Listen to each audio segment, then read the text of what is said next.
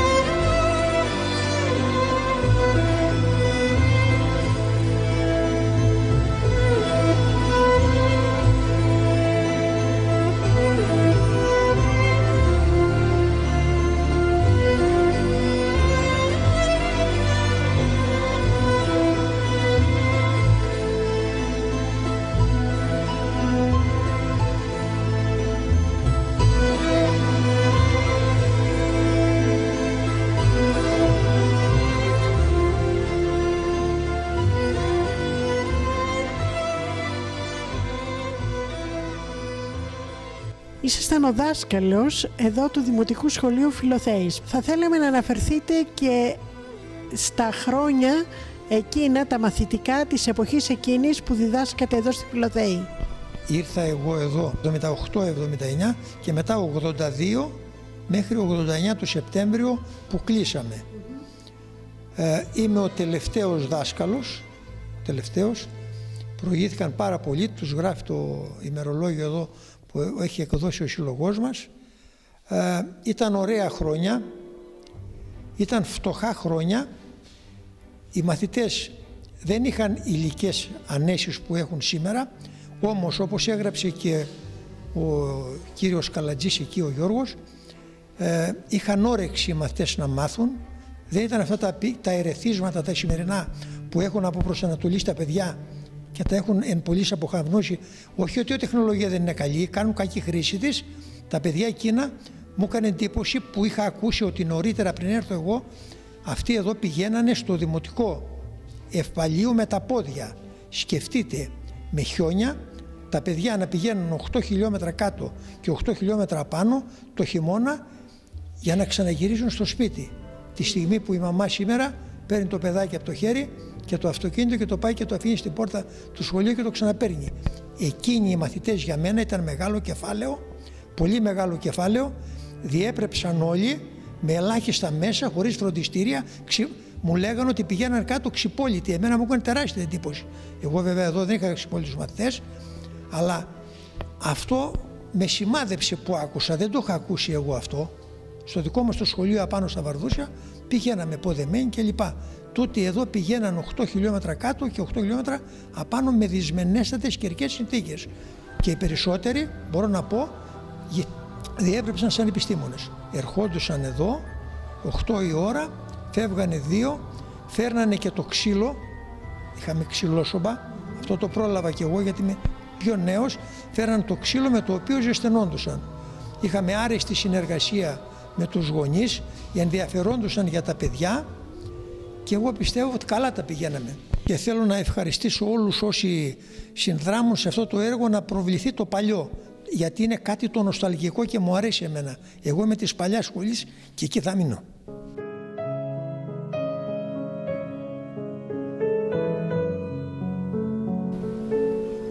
Η αγορά του οικοπαίδου, 1800 τετραγωνικά μέτρα του σημερινού σχολείου, καθώς και κατά ένα μεγάλο ποσοστό η δαπάνη για την ανέγερση του κτηρίου έγινε με δωρεά του μεγάλου ευεργέτη του χωριού, του αιμνίστου ομογενή, από την Αμερική του Δημητρίου Ζανιά, που σε μια επιστολή του τον τότε δάσκαλο Κωνσταντίνο Γρηγορόπουλο έλεγε ότι όραμά μου και όνειρό μου είναι να φέρω το νερό στους γκουμαίους και να κτίσω ένα σχολείο. Ο Δημήτριος Ζανιάς δεν ξέχασε την υπόσχεσή του αφού μετά τον ευνίδιο θάνατό του το 1951 ευρέθη σε τραπεζικό λογαριασμό του στην Αμερική το ποσό των 3.000 δολαρίων αναγραφόμενη ένδειξη School of Gumeos. Δηλαδή 3.000 δολάρια, σημερινά χρήματα 90.000 ευρώ για το σχολείο των Γκουμαίων όπου και τα οποία διασώθηκαν για το σκοπό αυτό. Το σχολείο πρωτολειτουργήσε το 1968.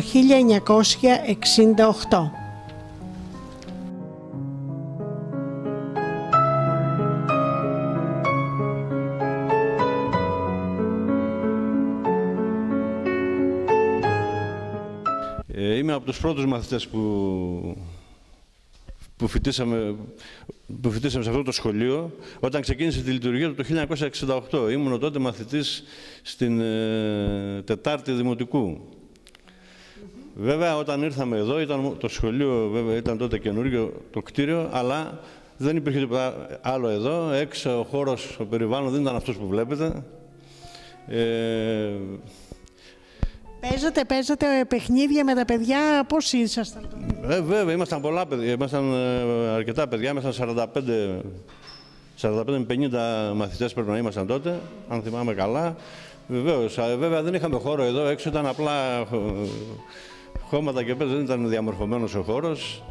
Ε, τότε είχαμε με την δασκάλα, με, με την παρότηση και της δασκάλας που είχαμε τότε της Ελένης Καραγιάννη, ε, μόνοι μας είχαμε αρχίσει εδώ να κάνουμε κάποια πράγματα. Ε, κουβαλάγαμε, φτιάξαμε κήπο εδώ απ' έξω, κουβαλάγαμε χώμα.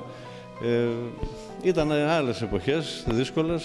Θέρμανση, ας πούμε, κουβαλάγαμε ξύλο, το ξύλο από το σπίτι μας. Έπρεπε να ερχόμασταν κάθε πρωί με ένα ξύλο, κάθε, ένα κομμάτι ξύλο κάθε για τη σώμα.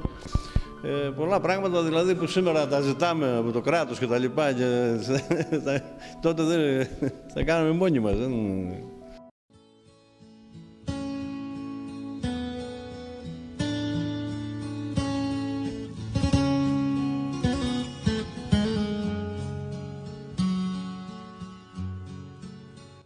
Η άλλη αίθουσα, του οποίου η χρήση έχει παραχωρηθεί στον πρώτο σύλλογο του χωριού, στο Σύλλογο Φιλοθέων Δωρίδος, με έδρα Αθήνα, φιλοξενεί λαογραφικές συλλογές της πολιτιστικής κληρονομιάς του χωριού από το έτος 2005.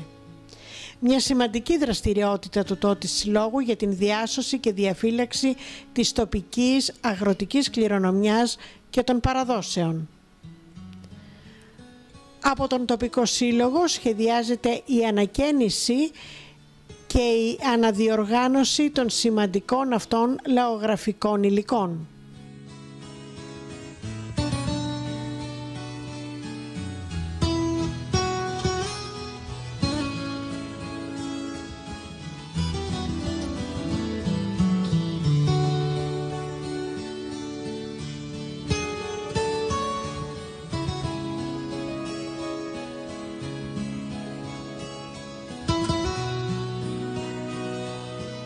Σύμφωνα με τα επίσημα στατιστικά δελτία του Υπουργείου Παιδείας. Το πρώτο σχολείο των Κουμαίων κτίστηκε το 1900 με τη φροντίδα της εκκλησίας του χωριού και την προσωπική εργασία των κατοίκων. Το πετρόκτιστο κτίριο 50 τετραγωνικά μέτρα περίπου διέθετε μια αίθουσα διδασκαλίας και ένα μικρό δωμάτιο για την διαμονή του δασκάλου. Το σχολείο ήταν εξατάξιο και συνήθως με ένα μόνο δάσκαλο για όλες τις τάξεις και όλα τα μαθήματα. Στα παλιά αυτά χρόνια αν δεν ήξερες το μαθημά σου ή μιλούσες, τότε ο δάσκαλος τη έβρεχε με τον χάρακα ή με τη βέργα ή σου τραβούσε το αυτί. Πριν την δωρεάν παιδεία 1964, τα παιδιά δεν είχαν τα δωρεάν βιβλία. Είχαν ένα κοντήλι και μια πένα στην καλύτερη περίπτωση. ένα τετράδιο και τα βιβλία που τα αγόραζαν μεταχειρισμένα ή τα δανείζονταν από άλλους. Σύμφωνα με το μαθητολόγιο του σχολείου, ο μεγαλύτερος αριθμός των μαθητών καταγράφεται το έτος 1949, λίγο μετά την κατοχή, με 96 μαθητές και οι μακροβιότεροι δάσκαλοι του χωριού, ο αείμνηστος Κωνσταντίνος Γρηγορόπουλος για 17 συνεχή χρόνια.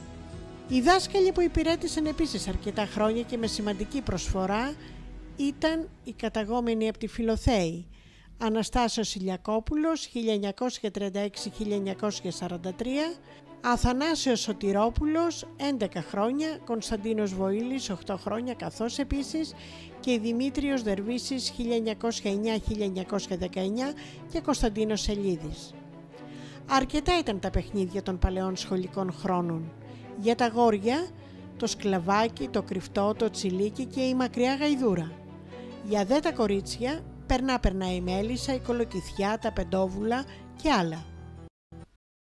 Κύριε Καλατζή, βρισκόμαστε στο χώρο του Παλαιού Δημοτικού Σχολείου Φιλοθέης, στο χώρο αυτόν που ήσασταν και εσείς ένας από τους φοιτήσαντες μαθητές τότε του Δημοτικού Σχολείου.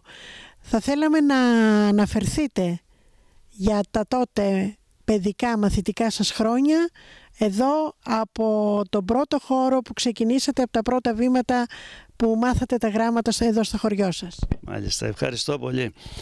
Το σχολείο όσα χρόνια κι αν περάσουν είναι πάντα χαραγμένο στη μνήμη και στην καρδιά μας. Σε αυτό το χώρο εδώ που είμαστε σήμερα το 1962 ήμασταν 63 μαθητές. Το χωριό έσφιζε από ζωή χάρη των παιδιών, των μαθητών και των μαθητριών που ξεκινάνε από πολύ παλιά χρόνια και χτίζεται το πρώτο διδακτήριο των Γκουμαίων όπως λεγόταν το χωριό μας τότε σε αυτόν εδώ το χώρο το 1900. Και ε, λόγω των σεισμών το 1963 όταν ήμουν και εγώ μαθητής το σχολείο εγκαταλείφθηκε γιατί εκρίθηκε ακατάλληλο από τις αρμόδιες υπηρεσίες. Σε όλα αυτά τα χρόνια πέρασαν από εδώ πάρα πολλοί δάσκαλοι, σημαντικότεροι και εκλεκτότεροι από όλους και επί πολλά χρόνια ήταν η χωριανή μας Ηλιακόπουλος Στάσιος, ο, ο Σωτηρόπουλος ο Θανάσης, συγχωριανή μας, καθώς επίσης και ο, ο επί πολλά χρόνια Κωνσταντίνος Γρηγορόπουλος, 17 χρόνια ήταν εδώ στο, στο χώρο αυτό. Από το σχολείο αυτό βγήκαν οι πολλοί μαθητές, επιστήμονες σήμερα και πρέπει να από υπολογισμούς που έχω κάνει πέρασαν από αυτό εδώ το σχολείο πάνω από 600 μαθητές και 30 δασκάλους είχε η σχολική κοινότητα της Φιλοθέης που ξεκινάει το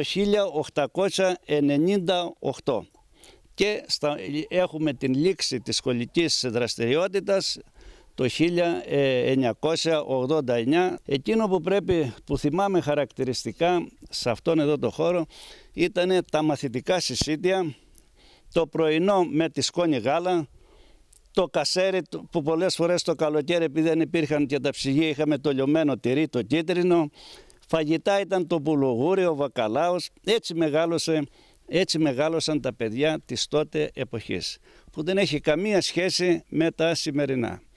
Το σχολείο ήταν πρωινό και απογευματινό.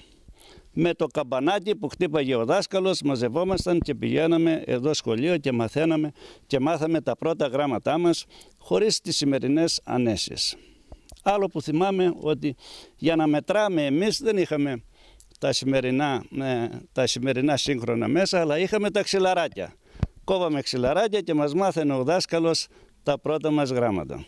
Το 19ο αιώνα και στα χρόνια της τουρκοκρατίας, όπου το 1805 το χωριό μας αριθμούσε 18 οικογένειες, οι λιγοστοί μαθητές μάθαιναν τα πρώτα γραμματά τους είτε στο σχολείο του γειτονικού χωριού Καριά, είτε στο μοναστήρι της Βαρνάκοβας, όπου είχε λειτουργήσει ως γνωστόν και ως κρυφό σχολείο.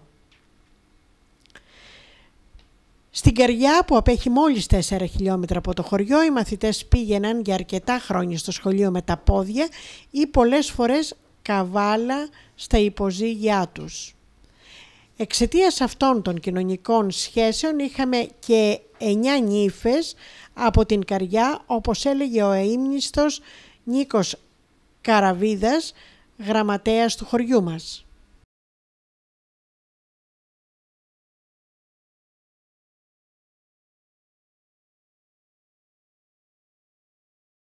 Σε διάφορες σχολικές χρονιές και ιδιαίτερα στην δεκαετία του 1960 και μέχρι να κατασκευαστεί το σημερινό κτίριο του σχολείου, ως αίθουσες διδασκαλίας χρησιμοποιήθηκαν η εκκλησία του Αγίου Γεωργίου, το κοινοτικό γραφείο και αρκετά σπίτια γύρω από την πλατεία όπως του Θοδωρή Νικολέτου, Μπακάλης και του Κώστα Πολυζώη, το επωνομαζόμενο δασικού, στο σπίτι του οποίου μαγειρεύονταν τα φαγητά για τα μαθητικά συσίτια και χρησιμοποιείτο για διαμονή των δασκάλων.